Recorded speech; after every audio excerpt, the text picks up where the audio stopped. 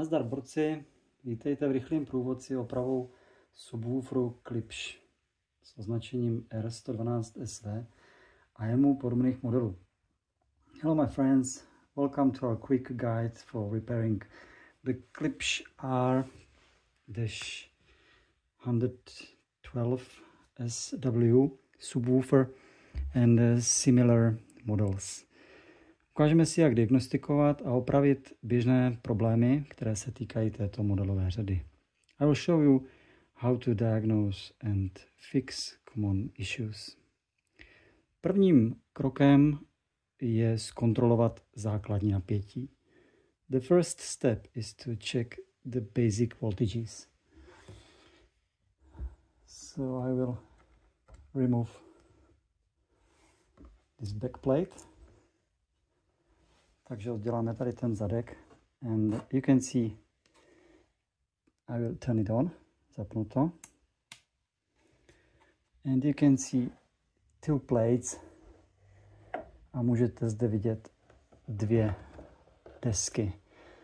This is the power uh, part, main um, the power board and the main board. Takže tady je napájecí deska a tady je ta hlavní zesilovací deska. Takže dáme si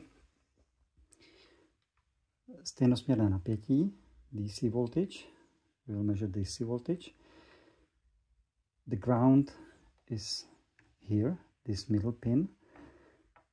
And then we will measure other voltages. Takže tohle je zem a budeme měřit další napětí.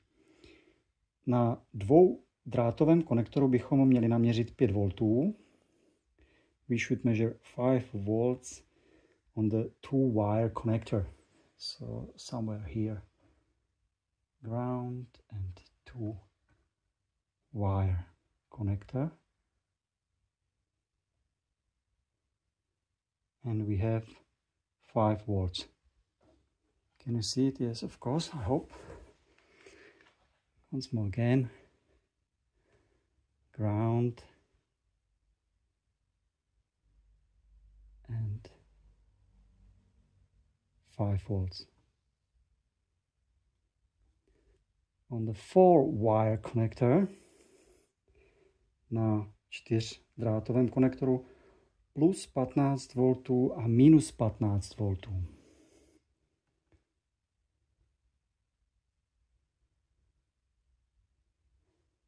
1.5 here is minus 14.6 0 and plus 15 takže viděli jsme tam 14,5 a 15,28 this is OK, takže to je OK a na třídrátovém konektoru by to napětí mělo být mnohem větší minus 57 a plus 57. Uh, and uh, on the four wire connector minus 57 and plus 57. 57. Ostatní modely můžou mít minus 62 a plus 62 nebo minus 42 a plus 42. Uh, Other similar models can have minus and plus 62 or minus and plus 42. Both voltages can be fine. A na velkém odporu, který je také na druhé straně, and on the other side is a big resistor, tak tam by mělo být, podíváme se kolik, So we will take also the ground and here is minus 8.5 and under it minus 45. Takže tady ty napětí byly tady na tomto pinu a na malém pinu pod ním. Správně bychom to měli měřit proti tomuto napětí, to znamená proti pardon, proti zápornému.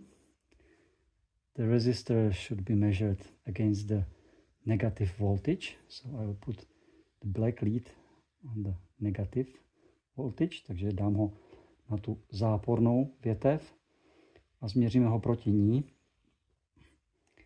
48 and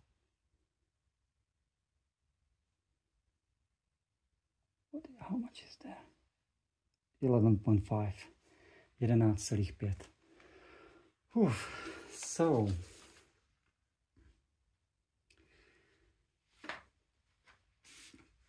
Pojďme na jednotlivé závady. Let's talk about troubles. I will disconnect this subwoofer, takže já si to vypnu. Vám to mohu ukázat. To be able to show you the critical parts. Bych vám mohl ukázat ty místa problémová. Takže tady vidíme tu zesilovací desku a pojďme na to. Pokud se váš zesilovač zapne a potom sám vypne, zkuste připojit odpor 4,7 kOhm tady na zem tohoto chybějícího kondenzátoru a na první pin tady na kraji součástky označené jako Q7. Tím stabilizujete 5V napájení pro obvod. If your amplifier turns on and then off by itself, try connecting 4.7K resistor between pin 1 of uh, the Q7 transistor and the ground of this missing capacitor. This stabilizes the 5 volt supply for the auto turn on circuit. Pokud slyšíte takový tikající zvuk každé 2 až 3 sekundy, změřte napětí na velkém rezistoru, to jsme si ukazovali tady na těch dvou kontaktech. Je to teď tady tento velký rezistor v originálním podobě bývá mnohem menší, ale je v podstatě za tímto kondenzátorem schovaný. A změřte to napětí a pokud kolísá při každém tom zvuku, problém může být v čipu, PVM čipu, tady za tím velkým kondenzátorem je to čip IRS 2092. A s jeho výměnou současně vyměňte také tento kondenzátor. Snad ho tady vidíte vedle něj, napravo od něj. A ten je 22 mikrofaradů 50 V. Takže if you hear a pop every two or three seconds, measure the voltage on the large resistor as we saw before near the near the this uh, capacitor the resistor here is much bigger than the original original one the original one is on the same position behind this capacitor but much smaller. And if uh, the problem if, if the voltage uh, is uh, missing every pop uh, the problem can be with the IRS chip over there this is the PV PWM chip and by replacing the chip and also this capacitor 22 microfarad and 50 volt the problem can be solved. Uh, pro kompletní opravu, pokud se objeví jakékoliv další problémy, může být potřeba vyměnit další komponenty. Častým názorem je vyměnit tento odpor, tyto tři kondenzátory, nebo plošně přepájet kompletně všechny kondenzátory, elektrolytické kondenzátory na té desce, včetně těchto dvou. Nemyslím si, že by to bylo nezbytné. Často ten odpor vyhřeje nejbližší kondenzátory, tak ty se vymění, ale ostatní kondenzátory bych neměnil. Pokud bych je měnil, tak stačí běžná kvalita, nemusí to být žádné audio značky. For a complete repair, you may need additional components uh, to replace, for example, this resistor and damaged uh, overheated capacitors nearby, or you can replace all electrolytic capacitors if you wish. Uh, there is no need to replace uh, capacitor with audio grade capacitors, standard capacitors from reputable brands are sufficient. Jednou ze závad eh, tady eh, tohoto konkrétního subwooferu, kromě tranzis, kromě tohoto odporu a těch kondenzátorů předtím, eh, bylo to, že subwoofer byl potichu, nevydával žádné zvuky, žádné vrnění, nic. A z ničeho nic začal vydávat náhodné, nepravidelné zvuky podobné poklepání nebo bouchnutí do stolu, jako by v něm strašil duch. A pokusím se vám sem vložit nahrávku, na které jsem se pokusil tyhle zvuky zachytit. Mikrofon nebyl dostatečně citlivý, takže se mi to možná nepovedlo dostatečně, jenom tak pro ilustraci třeba se v tom zorientujete. Another issue I diagnosed uh, in this uh, concrete uh, subwoofer was that the subwoofer was quiet and suddenly started making random irregular sounds similar to tapping or banging on table almost as if it was haunted.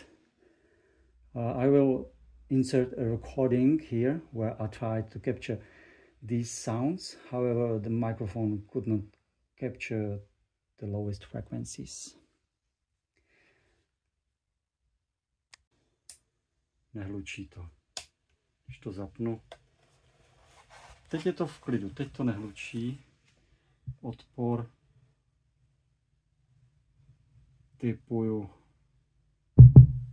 Teď, teď to duní.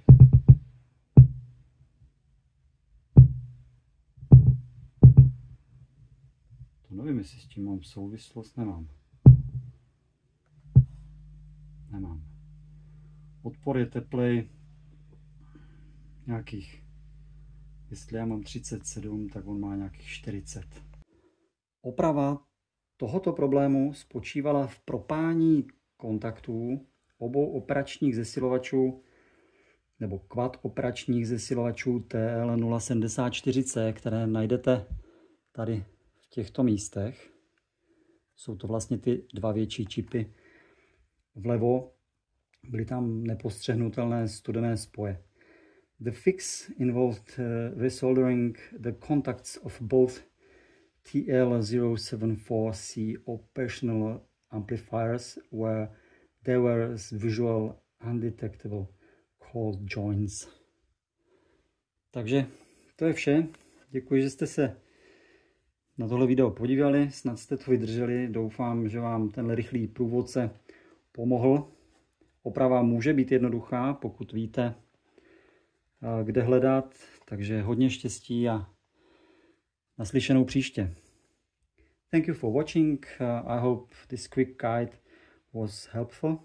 The repair can be straightforward if you know where to look. Good luck.